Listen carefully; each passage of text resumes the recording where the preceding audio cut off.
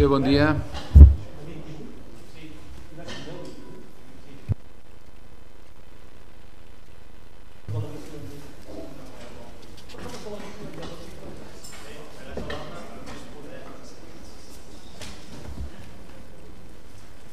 Molt bon dia, anem a començar aquesta sessió, aquesta primera sessió extraordinària del plenari del dia d'avui i passaríem en els temes de la Comissió de Promoció Econòmica, Administració i Hisenda i el punt primer seria el de donar compte de l'informe trimestral sobre el compliment de la llei 15 barra 2010 de 5 de juliol de la lluita contra la morositat en les operacions eh, comercials, com vostès han vist ja els pagaments realitzats eh, per la pròpia Diputació, per eh, Xaloc, el Conservatori de Música, el Consorci de les Vies Verdes i el Consorci de les Gavarres, així com l'informe també de, de Xaloc. Alguna qüestió?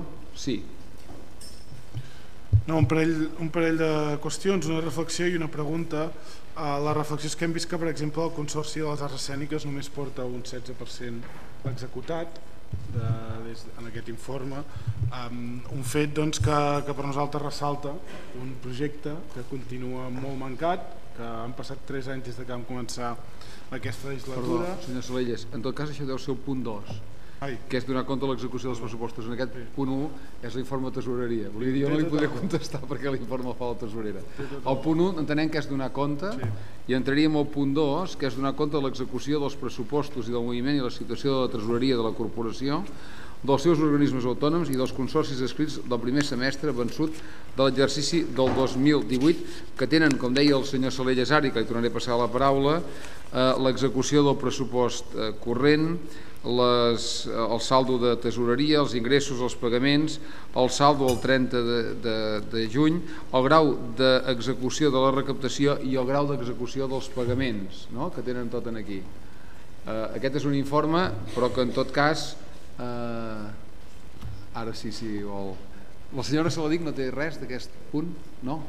Doncs vinga, senyor Salelles, perdoni. No, com, com li deia, que nosaltres doncs, hem constatat, bueno, segons explica l'informe, no, doncs, que el grau d'execució del Consorci de les Escèniques és només del 16%, hi ha d'altres que també són baixos no? per el moment en què ens trobem, el Consorci de les Gavarres és només d'un 25% i el Conservatori un 39%, però en tot cas, eh, en el cas del Consorci de les Arts Escèniques de Sals sí que per nosaltres ens mostra que tres anys després doncs, continuem amb un projecte embrancat, um, que no hem sigut capaços entre tots i totes de posar la marxa que tocava amb la responsabilitat institucional que pertoca.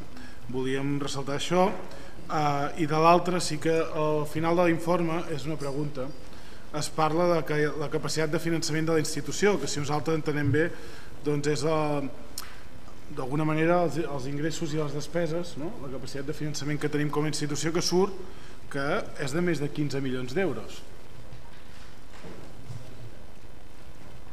Va, bueno, no, la nostra pregunta és que, segons ho interpretem nosaltres, i per això el preguntem, surt que és d'un positiu de 15 milions d'euros, entenem que anuals. Llavors, eh, ens agradaria saber tots aquests diners, una mica quina és la previsió de si realment una vegada s'acabi amb el deute que encara hi ha, encara hi ha una part de deute, Uh, quin, quin ús se'n vol fer i si ho he entès molt malament uh, m'ho explica senyor Noguer que vostè ha sigut vicepresident fins avui d'Economia i segur que m'ho podrà explicar, gràcies. Gràcies. En quant al consorci de el, el, el, el consorci que vostè feia referència del d'arts escèniques eh, el grau de compromís d'un 16%, el grau d'execució dels pagaments és d'un 91%, sí que és cert que el senyor Pinyera li acaba li, li acabarà contestant el per què d'aquest 1598, eh? senyor Pinyeira.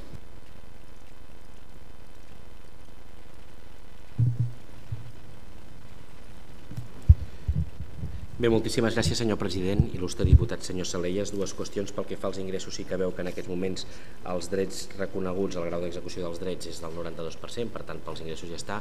Pel que fa a les despeses, en aquests moments nosaltres, que no hi havia sigut mai, estem en fase de estar convocada les places per, per poder dotar definitivament de personal al Consorci d'Arts Escèniques al Girona bàsicament per proveir el que seria el personal administratiu i el tècnic de sala. Durant tots aquests anys s'ha anat pressupostant, però com que les despeses de capítol 1 no hi havia personal, per això el grau d'execució de les despeses sempre baixa. A partir del moment en què aquestes places estiguin proveïdes definitivament, aleshores això canviarà automàticament. I un cop tinguem aquestes persones sortiria també amb posterioritat a la plaça de la gerència. Moltes gràcies, il·lustre diputat. En referent al tema eh, eh, del que vostè feia la pregunta, eh, és evident que hi ha dues qüestions. Eh, quan fem un pressupost hem de vincular la regla de la despesa, que no ens passem, i l'estabilitat. I aquest és un problema d'estabilitat. És a dir, si estem en negatiu vol dir que trenquem l'estabilitat, si estem en positiu vol dir que no hem trencat l'estabilitat i que per tant el pressupost té estabilitat. I diguem, de 15 milions, no, no perquè siguin sobrants, perquè a la millor, i aquí hi ha de la Diputació de Girona uns 10 milions de FEDER, 10 milions d'euros de FEDER, que a la millor ara es comencen a fer la contractació. A la millor, si no, no vol dir que si no s'executen ara siguin sobrants, si no s'executen ara, el FEDER s'executarà l'any que ve. Per tant, és un tema d'estabilitat, és un tema que a mesura que vas avançant vas fent sumes i restes surten positiu i negatiu. Si aquesta xifra fos, fos negativa tindríem un problema, voldria dir que hem, hem entrat en inestabilitat pressupostària. Si aquesta xifra és positiva vol dir que estem en estabilitat pressupostària, que no vol dir que tinguem un sobrant de 15 milions, vol dir que la millor allò que està programat no ho executarem tot l'exercici. Per exemple, el FEDER és evident que ja havíem previst que seria que ho preveiem en un exercici però que a la millor ho faríem, ho executaríem en dos o tres exercicis. Eh? Per exemple, les vies verdes, que aquí hi ha un paquet molt gros, i les calderes, que sí que una part els adjudicarem avui mateix, però que a la millor si s'acaben totes això restarà, no? però al final el que és important és que al final amb això quedem positius per tenir estabilitat pressupostària. D'acord? Res més en aquest tema, per tant, en donem compte. L'altre també és un dictamen eh, de, que cas una aprovació inicial de l'expedient de crèdit extraordinari de la, del pressupost de la Diputació de l'exercici del 2018 per un import de 575.678, dels fons de contingència 551.678, Després hi ha un, un tema del patrocini de, Xavier, de l'exposició de Xavier Cugat que ha canviat per, eh, en comptes de, per la Flamingo Auditorium i a Incatis és la per Gastro Pirineus també aquests eh, 8.000 eh, euros. Eh, aquí hi ha com a fet més significatiu els 250.000 euros de la Casa Natal de Salvador Dalí, que estaven inclús previstos per anys anteriors, el no haver-hi l'aportació de l'Estat en aquests anys anteriors es posa en aquest i en el que ve, i llavors ja eh, més important poder és el fòrum gastronòmic el senyor Salelles em va fer una pregunta sobre si és el mateix import, és el mateix import. Allà eren dues partides 80 més 20 en tot cas aquí és una sola partida. I eh, també hi ha el tema de temporada alta del 2015 que s'arrastrava eh, d'aquest deute amb l'Ajuntament de Girona per fins que s'aclarís tota la circumstància un cop aclarida eh, es paga i això ja estem diguem en l'any vigent i després són eh, petites altres eh, qüestions doncs, que, que, que hi ha. No? Eh, no sé si hi ha alguna qüestió per part de vostès, senyora Saladic no, senyor Salella sí, endavant. No, jo vaig expressar la meva reserva de vot i avui confirmo la nostra abstenció en aquest punt perquè nosaltres doncs, d'una banda eh, creiem que són decisions, la majoria d'elles o gairebé totes, que es prenen des del punt de vista de l'equip de govern sobre què cal eh, finançar de forma nova no? ara mateix des de la Diputació a través del fons de contingència, més enllà de si totes les partides teòricament les entendríem que s'haurien de, de fer a partir d'un fons de contingència o no, hi ha un altre element que és que no les compartim totes, la priorització que es fa, ja ho he dit, però més, i ho vaig ressaltar el dia de la comissió informativa, quan, algú, quan una persona mira els municipis concrets on van a parar aquest fons de contingència, que és el que debatem avui. No estem parlant que en el voltant de la legislatura s'acabarà ajudant a tots els municipis, estem parlant d'aquesta proposta concreta. Veiem que són bàsicament ajuntaments de Convergència i Unió, PDeCAT, Crida Nacional, Junts per Catalunya, el nom que li vulguin dir. Però en tot cas és Llançà, és Figueres, és Girona, és Puigcerdà, és Calonja, són ajuntaments del seu grup. I nosaltres hem de dir que eh, hi trobem molta casualitat si se'm permet la frase, molta casualitat que tot el fons de contingència se'n vagi, o gairebé tot, se'n vagi a ajuntaments i a projectes que estan vinculats a ajuntaments que governen el seu grup polític. Ens sembla, i estem prou convençuts, que la demarcació és prou diversa i amb prou projectes interessants i amb necessitats com per avui presentar un fons de contingència com han fet. Moltes gràcies. Gràcies, senyor Salelles. Eh, en tot cas, només per aclariment, eh? Jo segur que no el convenceré, però en tot cas sí que aclarir-ho. Eh? Primera, el fons de contingència són 3 milions d'euros. i aquí són 551. Eh? Per tant, eh, una sisena part. Segon, aquestes modificacions es porten ara perquè el fons de contingència eh, eren poder-lo fer servir, utilitzar o no, depenia dels, de la llei de pressupostos generals de l'Estat. En el sentit que nosaltres teníem posat un fons de contingència de 3 milions d'euros. I em sembla que els hi vaig dir que el mes de juny estàvem a menys 4 milions perquè les aportacions del, del fons de l'Estat de l'1 de gener al 30 de juny si haguessin continuat fins al 31 de desembre eren menys 4 milions. Per tant no haguéssim tingut un problema de no utilització del fons de contingència sinó que haguéssim hagut de retallar diguem partides fins a arribar a aquest milió addicional. En el, en el, quan es publica la, la llei de pressupostos de l'Estat i l'Estat fa el recàlcul del que portarà les administracions locals que ja han començat a cobrar-ho el juliol per tant de 1 de juliol a 31 de desembre aporten els 4 milions addicionals. Bé, ara podem utilitzar fons de contingència, eh? per tant ara podem fer les modificacions que no abans. I el fet de que, que vostè ens en va, me'n va fer donar compte l'altre dia, de que totes les modificacions estiguin vinculades a un tipus d'Ajuntament és una casualitat. Eh? Eh, inclús li diré no volguda, no? però al final, si vostè mirem les nominatives a tots el pressupost, a tot el pressupost que hi ha, doncs hi ha a tots els ajuntaments, a totes les necessitats que hi han, siguin del color que siguin els ajuntaments. I aquesta és una realitat que, si vol, li podem fer un repàs eh, el dia que vostès vulguin i ho podran comprovar-ho. Bé, en tot cas, doncs, agrair-li el seu comentari. Senyor... Gràcies, president. Bé, el nostre grup també, la comissió informativa, tant aquest punt 3 com el 4 van fer reserva de vot. Dir que en aquest punt 3 nosaltres mantindrem aquesta extensió, en el punt 4 votarem a favor i explicaré per què. Aquesta, en aquesta modificació, a part que nosaltres, ja ho vaig dir a la comissió, discrepem, hem, entès la, la, l'explicació que ha donat el president en relació al fons de contingència, va ser que discrepem en quant a l'ús d'aquest fons. Nosaltres pensem que aquest fons hauria d'obrir bàsicament a qüestions extraordinàries i no aquelles qüestions que són mm, bàsicament recurrents. No? Per tant, aquí veiem que hi ha algunes partides que, que estem finançant que pensem que això no hauria d'anar per la via del fons de contingència. També ens hauria agradat que aquesta partida important, de, que són una pluralitat, com vostè va dir, 2018-2019 en relació a l'Ajuntament de Figueres de la casa natal de Salvador Dalí 250.000 euros aquest any, 250 el proper, hauria agradat doncs, que hagués hagut una miqueta de, de debat i de consens no? en la resta de formacions per decidir sobre si el nostre grup no, no diu que no sigui prioritària, però en qualsevol cas, ja que estem parlant de mig milió d'euros, doncs ens ha agradat una mica més de participació. I també vaig dir en el seu moment doncs, que em tenia estrany, tot i que hem, hem entès que el sistema diguéssim de la, de la subvenció que es donava a la temporada alta va canviar el 2016, que fins en aquell moment es donava a l'Ajuntament a partir del 2016 es donava directament a Vito Produccions.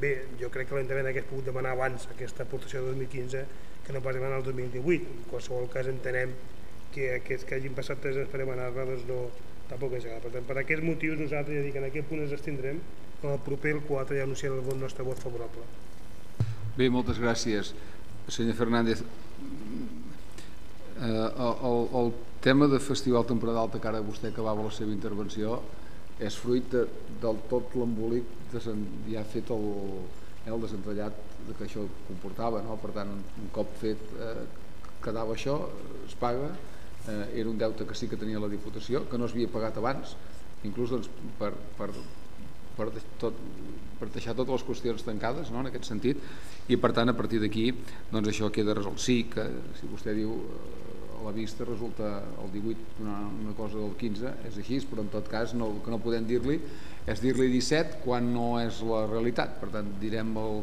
el que toca i, i ja està. No? Eh, en tot cas és una vegada i no serà més perquè això ja s'ha acabat. No? Mm, I eh, tots aquests temes, bé, jo, jo puc, puc estar d'acord amb el tema del fons de contingència, però jo els hi vaig dir una cosa fa un any i un any i mig, al del pressupost vaig dir nosaltres tenim l'intenció de no haver de fer gaires modificacions en aquest sentit i posar-ho tot d'origen i això crec que en un tant per cent molt elevat ho hem complert. Sempre queda alguna cosa, només ens quedarà una petita cosa d'esports que és per resoldre al setembre perquè no hem tingut temps i s'hauran acabat les modificacions de crèdit en aquest sentit. Eh? Per tant, jo penso que sí que hem anat complint allò que havíem dit, que havien dit però que vostès també ens havien demanat tots els grups, incluït també doncs, el grup d'Esquerra, la CUP i, i Independents de la Selva, de dir, escolta, quan més coses podem posar d'origen, menys modificacions. Si recorden, hi havia anys que hi havia hagut moltes modificacions i aquest any no ha set, no ha set així. Bé, en tot cas, el gent d'Esquerra no. Eh, senyor secretari, procedim a la votació. Jo entenc que no hi ha cap vot en contra. Abstencions? 4. 4 abstencions. Vots a favor? 21. Per tant, amb 21 vots a favor i 4 abstencions queda eh, aprovada aquesta modificació. Passem al punt 4, que és l'aprovació inicial, de l'expedient de suplement de crèdit. En aquest cas és de 1.846.869,56, del qual del fons de contingència s'agafa 1.793.769,56. La partida més important és eh, els ajuts de la presidència, que aquí sí que són de tots els ajuntaments, de la demarcació, de tots els eh, colors eh, polítics, el que sí que hi havia era de que amb el president Vila, i, i, i ara no canviarem aquesta qüestió, era de que tots els ajuntaments podrien tenir eh, com a molt dos, dos ajuts extraordinaris de l'àrea de presidència. La veritat és que aquest any ja portem més de 100 ajuntaments ajudats no? i queda encara ajuntaments per acabar d'ajudar. No? I per tant, el que no seria just és que en un ajuntament doncs, hi donéssim dos i en un altre ajuntament un, sigui qui sigui i de quin color sigui l'Ajuntament. Per tant, ens sembla que eh, això doncs, seria el que falta faria també. El programa de Montseny a l'escola són 2.100 euros, els programes de calderes de biomassa i programes de pla elecció de l'àrea de medi ambient posant-hi aquesta partida de 114 i 105.000 euros, quedarien tots els ajuntaments que, eh, que s'han presentat i que tenen la puntuació, diguem, favorable, eh, els que queden exclosos no, però tots els que no han quedat exclosos tindrien l'ajut, eh, per tant tots els ajuntaments. Eh, eh, inversions elevades, em deia el senyor Santa Maria que eh, hi hauríem d'afegir, una cosa és per la despesa nevada és per fer inversions. La despesa hi ha el que hi ha, que ja era el doble que l'any passat, però per inversions hi hauria ajuntaments que si no suplementéssim aquests 50.000 euros no podrien comprar el material de, del qual doncs, eh, necessiten. Bon govern i transparència igual, hi ha hagut més ajuntaments dels esperats i per tant per donar l'ajut a tots també falta, falta això, la UNET és una cosa de 24.000 o una cosa de 334 de Benit Fita, eh, la Fundació Casa de Cultura 219.021 euros. És una previsió eh, d'una possible sentència que pogués ser en contra, eh, que està recorreguda, explicada en la comissió informativa, l'Acadèmia d'Arts i Ciències Cinematogràfiques del segle Gaudí 12.000, l'Estudis de Treballs Tècnics del Centre d'Imatge 20.000 i en Noves Tecnologies 135.000, que aquest és un... Això l'any passat no es va poder resoldre, es va deixar a romanents i en tot cas ara eh, s'incorpora via, via fons de contingència. Per tant, això serien aquests suplements els que presentem i com veuen 1.700.000 i 500 i pico serien al voltant de 2.300.000, 2.400.000, encara quedaria algun saldo en el fons de contingència per si hi hagués alguna altra contingència que s'hagués de, de suplir. Uh, alguna intervenció? Se la dic no, senyor Salelles? Sí, no. Nosaltres també ens abstindrem en aquest punt perquè sempre hem dit que no creiem que el model d'anar donant més diners al pressupost perquè sigui el president qui decideixi unilateralment d'acord és cert amb les alcaldies que el vagin a veure o que facin un determinat funcionament de l'organisme que no compartim eh, nosaltres no valem aquest model i veiem que el que es fa amb el fons de contingència és incrementar la partida pressupostària que ja hi havia perquè entre altres coses com vostè va explicar a la comissió i és bo que se sàpiga resulta que l'anterior president ja havia compromès no només els 3 milions, sinó fins i tot el milió addicional que li posem avui. Clar, si resulta que l'anterior president compromet més diners dels que estaven pressupostats, avui ens veiem amb l'obligació d'oferir un milió d'euros més en un model que és el de que un president o presidenta, malauradament encara no hi ha mai cap president de la Diputació, eh, decideixi quin exactament és eh, els diners que es destinen a cada poble i en quin projecte eh, més enllà de, de, de l'opinió evidentment que sempre s'escolta de l'alcalde o l'alcaldessa que el vagi de veure. Nosaltres entenem que aquest no és el funcionament que hauria de tenir una institució com la Diputació, haurien de funcionar molt més ja ho hem dit sempre, per criteris de concurrència pública i també per oferir serveis des de la mateixa Diputació eh, i com que no compartim el model, nosaltres avui ens abstindrem i ens, agrair, ens agradaria que abans que s'acabés aquesta legislatura poguéssim anar fent un canvi de model paulatí, si voleu, però que es anés canviant perquè creiem que no beneficia en cap cas ni a la transparència ni a la democràcia el model que s'està implementant. Moltes gràcies.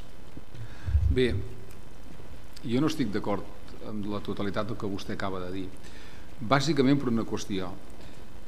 La presidència de la Diputació, incluïda en aquesta modificació, no arriba al 4% dels recursos estatals de la, del, del pressupost que puguin anar a la presidència per donar ajuts als ajuntaments.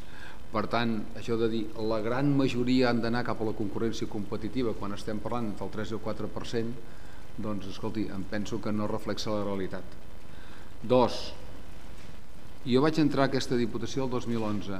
Del 2011 fins al 2018 hi ha hagut un canvi importantíssim, i això diputats i diputades que hi han estat doncs, segurament amb anterioritat, el canvi que s'ha anat des de cap al model de la concurrència competitiva ha estat molt gran, molt gran perquè totes les situacions hi han aportat també cap aquí, no? però al final, és a dir, si de 130 milions de pressupost hi ha 4 milions o 4 milions i mig que van no en concurrència competitiva, sinó que al final s'acaba ajudant a tots els ajuntaments per projectes que no decideix el president, que acaba decidint els alcaldes alcaldesses, regidors o regidores que els acompanyen a les visites, jo no crec que hi hagi cap alcalde ni alcaldessa que hagi vingut a veure en el president de la Diputació i se'n vagi subvencionant un projecte diferent del que ell ha presentat.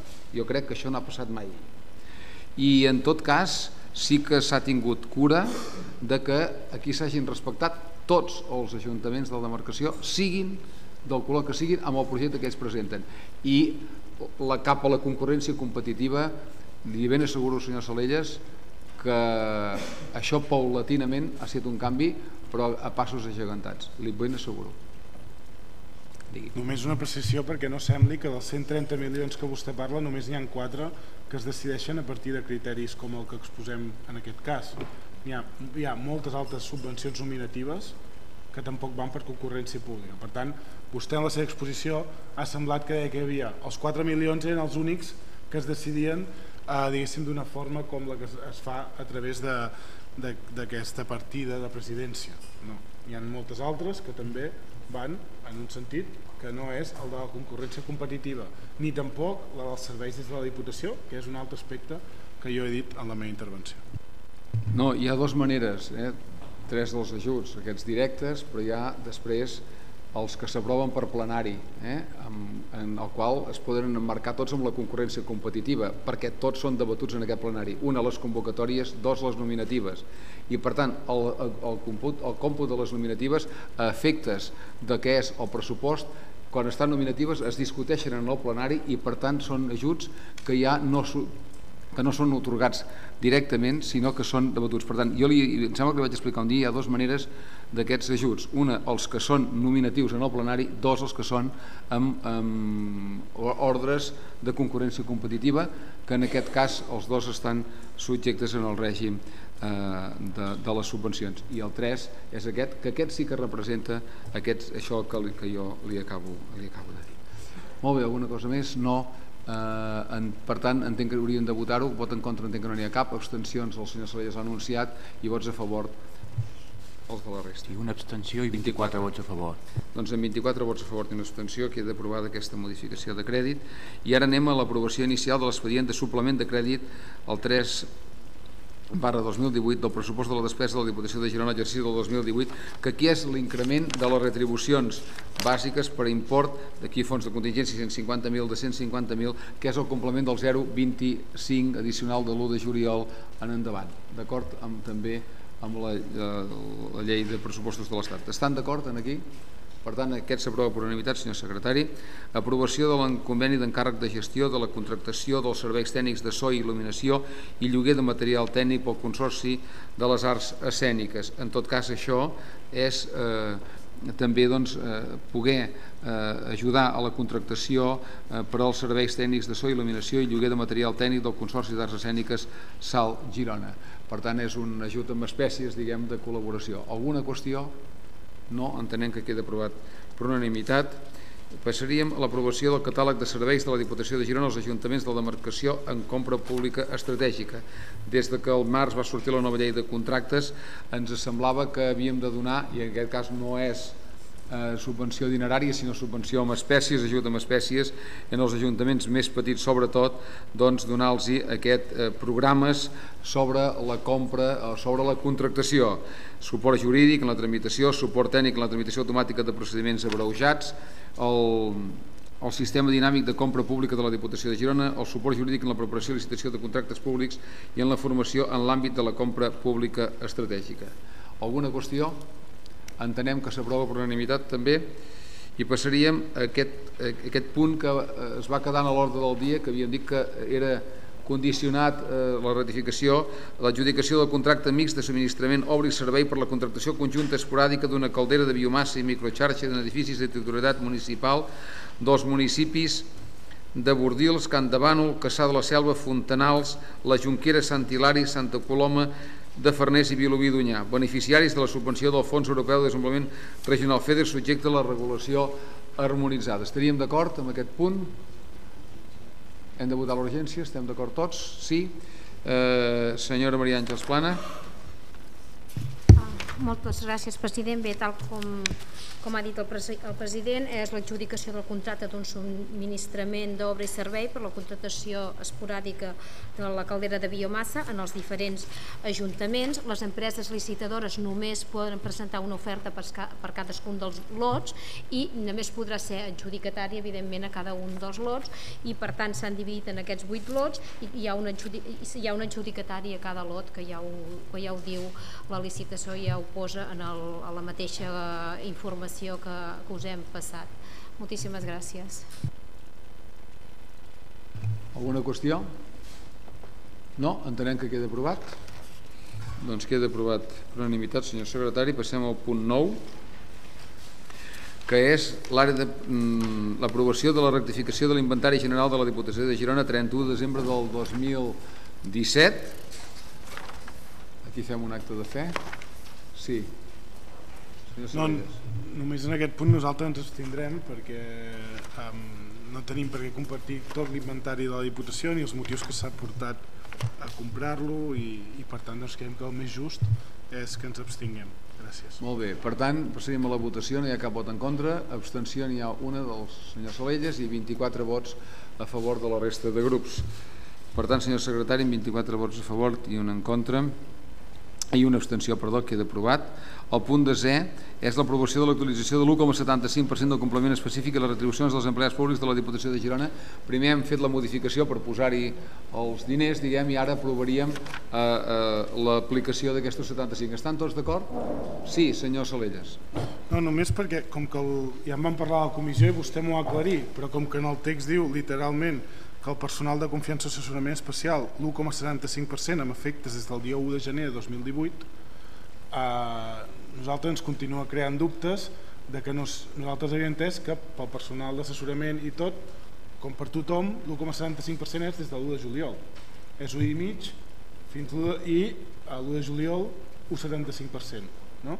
això és el que havíem entès. Llavors el text diu eh, 1,75% efectes des del 1 de, 1 de gener de 2018 no sé si és un error o perquè el que vam, quan ho vam preguntar ens van deixar clar que no era que els assessors seria diferent a la resta de treballadors no. per tant no sé si s'ha d'aclarir no, no pot ser-ho, és a dir, és igual que els treballadors de fet són treballadors de la casa 1 i mig, 1 de gener 30 de juny 1 75, 1 de juliol eh, 30 de desembre si hi ha un error es ratificarà eh? d'acord?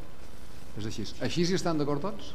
d'acord i ara el punt 11 és l'acceptació de la delegació acordada per diversos ens de determinats ingressos de dret públic a favor de la Diputació de Girona, com són l'Ajuntament de Sant Pere Pescador, gestió i recaptació en període voluntari i executiu d'expedients sancionadors per infraccions o la normativa en matèria de trànsit i circulació de vehicles a motor i seguretat viària, l'Ajuntament de Castell Platja d'Aro, expedients sancionadors en període voluntari i executiu, diferents expedients sancionadors, gairebé tots els expedients sancionadors, l'Ajuntament de Portbou també expedients sancionadors en, en diferents eh? i a l'Ajuntament de Fortià la, en període executiva de multes coercitives i costes judicials. Estan d'acord? Sí. Ara passaríem a la Comissió de Territori i Sostenibilitat, que serien els punts 12, 13, 14, 15, 16, 17 i 18, que tots són aprovacions de convenis per les instal·lacions de les calderes de biomassa, que hem dit.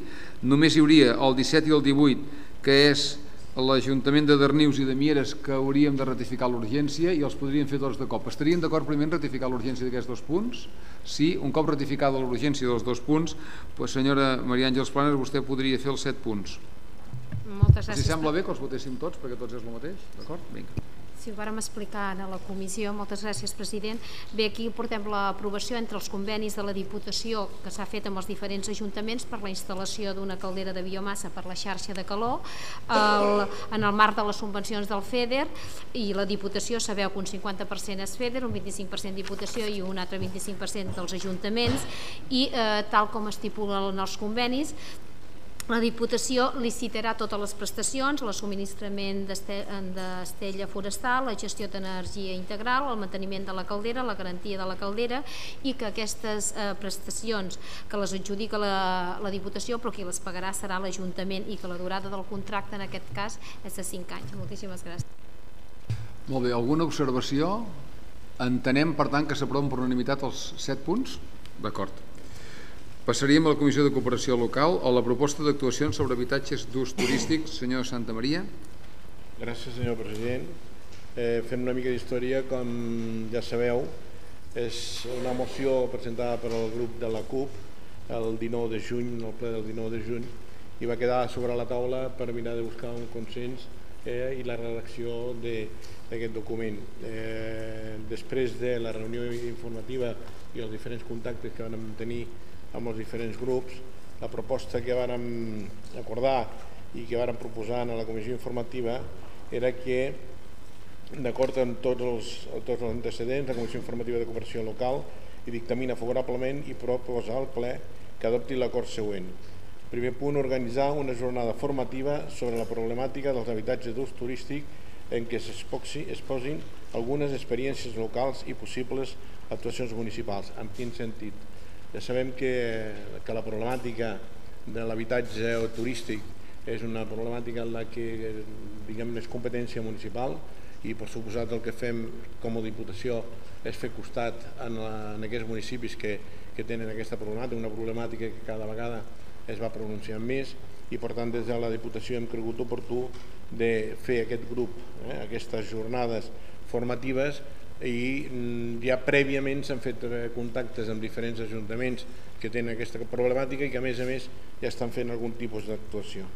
Després incloure en les línies de subvencions del servei d'habitatge a les actuacions municipals destinades als estudis, plans i actuacions sobre els habitatges d'ús turístic. Amb quina intenció? Precisament per ajudar els ajuntaments que han de fer o que fan aquest tipus d'estudis o algun tipus d'actuació, des de la Diputació puguem ajudar-los econòmicament i que puguin ser ells el que el puguin tirar i desenvolupar. Eh, I tercer, doncs, oferir als ajuntaments gironins, en coordinació amb les altres administracions competents, un, sensor, un servei d'assessorament en l'àmbit dels habitatges d'ús turístic. Precisament aquest punt és un punt que arrel de les, dels contactes que vam tenir amb els diferents grups, el grup d'Esquerra Republicana, doncs ens va demanar si podíem afegir aquest punt en aquest document i també per part de, de Independents per la Selva també van fer l'aportació de que en tot cas miréssim d'anar coordinats amb la Generalitat perquè realment eh, la Generalitat és la que té també competència en aquest, eh, diguem, en aquest aspecte. I el que sí que ja hem fet, el que passa que són èpoques vacacionals i és difícil doncs, trobar la persona responsable i el que hem fet és demanar eh, a, la, a la representant de de turisme de la, de la Generalitat per fer un primer contacte, fer un contacte per mirar de fer totes les actuacions que calgui doncs fer-les d'una manera conjunta. Bé, d'acord. Alguna observació, senyor Salelles? No, en primer lloc crec que, que és pertinent explicar com ja va passar en el tema dels cementiris i de les polítiques actives de la Diputació al voltant d'intentar garantir al màxim doncs, la qualitat i la dignitat en la mort doncs, dels gironins i les gironines que en, en un mercat que està totalment monopolitzat i que sovint implica doncs, que la gent s'hi hagi de deixar eh, molts diners i a més amb un servei de mala qualitat doncs vam aconseguir com a CUP iniciar aquest debat i que la Diputació iniciés el treball al voltant del tema de la mort. Avui ens trobem en un altre cas similar. Sovint s'explica pels mitjans i pel govern i per tothom que aquest, el de la CUP és un grup que es dedica a fer oposició eh, únicament crítica ahir en el govern que hi ha i a denunciar les coses que no li agraden al govern. Però resulta que gràcies a una iniciativa de la CUP una moció que vam fer al voltant del tema dels habitatges d'ús turístic fa dos plens, avui estem portant una iniciativa que no estava prevista, que no estava prevista abans i que no s'havia parlat en cap moment per part del govern, avui es porta a debat i aprovació una proposta que no és la proposta que nosaltres haguéssim fet en el 100%, però hi votarem favorablement perquè entenem que és un inici, que està bé que haguem arribat en aquest punt tenint en compte la correlació de forces que hi ha eh, a dins de la institució i sí que ja l'hem fet arribar al senyor Santa Maria en més d'una ocasió que entenem que la Diputació també hauria de tenir un rol actiu que no hi surt aquí en el que és eh, l'anàlisi del que està passant, del fenomen. Crear diguéssim consciència, coneixement i facilitar que l'anàlisi del que està passant al voltant dels pisos turístics arreu de la demarcació doncs pugui ser públic es pugui trobar a la Diputació estudis i que ens serveixin doncs, perquè els municipis no només participin d'unes jornades formatives que estan molt bé, sinó que les jornades formatives en quedi allò que se'n diu ara un know-how, un coneixement perquè tothom d'aquí un temps, ja sigui ara o més tard, en pugui eh, doncs, fer ús. Per tant, nosaltres celebrem que d'una iniciativa que va tenir la CUP n'acabem traient una proposta que més o menys és consensuada i que entenem que avui tothom hi votarà a favor, però també reclamem que tota aquesta part de l'anàlisi que nosaltres comentàvem ja en la moció es tingui en compte perquè si no es vol fer ara en aquesta primera fase en una futura fase eh, es pugui fer. Moltes gràcies. Bé. Gràcies senyor Salelles, el senyor Santa Maria el contestarà. Gràcies. Eh, realment m'enorgulleix no? a mi i al nostre equip de govern que reconegui de que dues propostes vostres, segons vosaltres, que sí que s'han estat treballant abans, que s'han parlat abans, però mai s'havien portat un ple del, de, la, de la Diputació, eh, sí que s'ha de reconèixer que aquest govern escolta a l'oposició eh, i és capaç de tirar endavant mocions que presenten les oposicions precisament perquè es valoren eh, i el que volem precisament és donar un bon servei als nostres municipis. Tingueu molt clar i tinguem tots molt clar de que l'equip de govern treballar en pro del benestar de tots els ciutadans, en pro del benestar de tots els nostres municipis que són els que representen precisament a la ciutadania, però que sí que no és menys cert que tots, tots els grups i a tots els agraïés les aportacions que feu. No tan sols la CUP, també Esquerra Republicana, també socialistes i també independents. Per tant, nosaltres com a govern el que estem és per, per escoltar, estudiar, valorar i després en tot cas executar com s'estan executant moltes coses. Així que sí que era una problemàtica que en el seu moment van ser aportats per la CUP, però que sí que no és menys cert que des de de govern ja ho estàvem plantejant, ja ho estàvem treballant, però a la vida hi ha coses que s'acceleren i en aquest cas el que vam considerar de que eh, recollir doncs, precisament aquesta, aquesta inquietud i mostrar de que el govern de la Diputació és obert i el que vol és escoltar totes les propostes que siguin constructives. Així que moltes gràcies, senyor president. Moltíssimes gràcies, senyor Santa Maria. Per tant, a la votació entenc que es unànime. Ah, perdó, perdó, perdó. El senyor Martí té la paraula. Sí, gràcies, bon dia.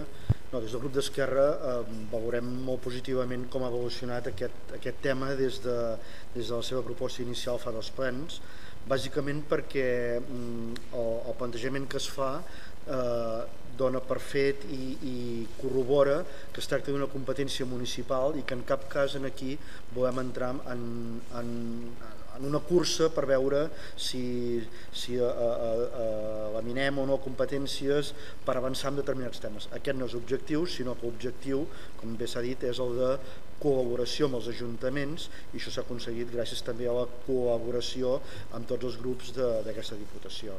Ens sembla especialment important també el, aquesta inclusió de l'assessorament als municipis perquè és amb aquesta, amb aquesta tasca que la, la Diputació eh, pot mostrar la seva expertesa i pot deixar un llegat important i finalment eh, remarcar que, que considerem molt important que això quedi inclòs en aquesta problemàtica global de l'habitatge, que si bé és cert que els habitatges d'ús turístic ens mostren una cara molt concreta d'especulació i a vegades d'un mal ús, no és menys cert que la problemàtica que abasta la gran majoria d'ajuntaments de, de, de, de les comarques gironines és d'un ordre diferent que no pas només ús turístic, per tant ens sembla important això. Moltes gràcies. I anunciar que votarem favorablement tal com vàrem dir en la comissió informativa. Gràcies, gràcies senyor Martí. Senyor Santa Maria. Sí, bé, agrair per segona vegada ja a l'Esquerra Republicana doncs, l'aportació que ha fet. Efectivament, és aquesta la lectura que es havia de fer i que fem i s'ha fet d'aquesta problemàtica perquè ja som conscients de que és una problemàtica municipal però el que sí que no podem nosaltres fugir d'aquesta problemàtica perquè precisament nosaltres el que hem de fer és costar en els nostres ajuntaments. Així és que moltes gràcies. Moltíssimes gràcies, senyor Santa Maria. Alguna qüestió més? Per tant, entenem que la votació és un, per unanimitat? Doncs vinga. Passaríem a la Comissió de Cultura, Noves Tecnologies, Esports i Benestar. El primer punt seria l'aprovació del Pla de Servei d'Assistència als municipis per l'avaluació i diagnosi de funcionament dels seus sistemes informàtics de la Diputació de Girona. Senyor Albert Pinyeira. Moltíssimes gràcies, senyor president. Bàsicament l'àrea dels sistemes i tecnologies de la informació és una àrea cada vegada més encaminada a la prestació de serveis i no tant a l'aportació de recursos en els ajuntaments. És cert que també aportem recursos els ajuntaments i a tercers, ho hem fet en biblioteques, ho hem fet en museus per la renovació de tot el que és el programari maquinari i xarxes, però en un cas en què és evident que aquí hi ha un, és claríssimament un cas d'economies d'escala i el know-how i la possibilitat d'oferir eh, coneixement al, al, al territori, en aquí la Diputació juga un rol important, bàsicament ha fet que l'àrea pràcticament estigui sobretot encaminada a la prestació de serveis, sigui l'E7, sigui l'administració electrònica, sigui el registre, sigui el gestor d'expedients, sigui el padró, sigui tot el programari.